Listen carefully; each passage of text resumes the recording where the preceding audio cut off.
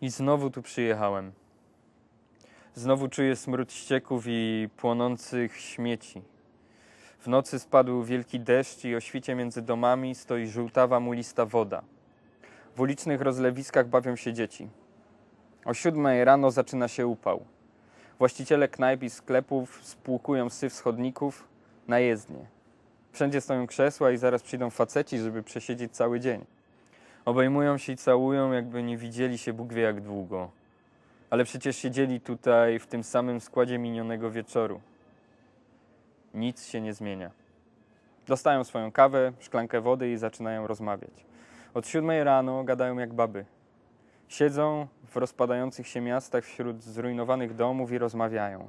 Przychodzą kolejni, całują się, siadają i zaczynają mówić. Rozpinają koszule, żeby było widać złote łańcuchy. Podnoszą filiżanki i odginają małe palce, żeby było widać sygnety. Co parę kroków stoi kilka krzeseł i stolik. Uciekają z domów i siedzą na ulicach, jakby nie mogli bez siebie wytrzymać.